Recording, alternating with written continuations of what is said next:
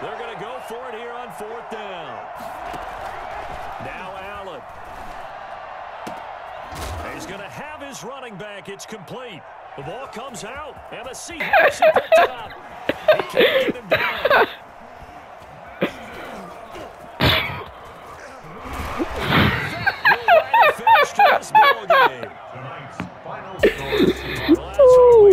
Yo, yo, ball Yo.